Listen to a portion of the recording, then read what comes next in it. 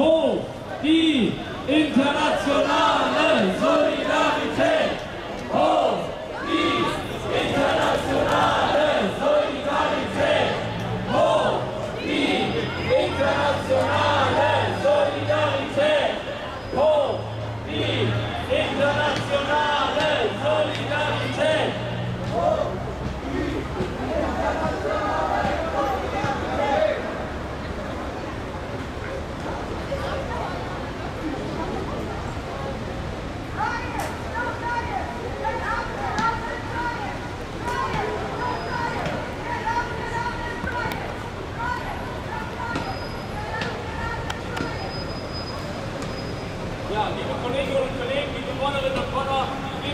Heute am 1. Mai auch für eine Klimapolitik, die den Namen verdient.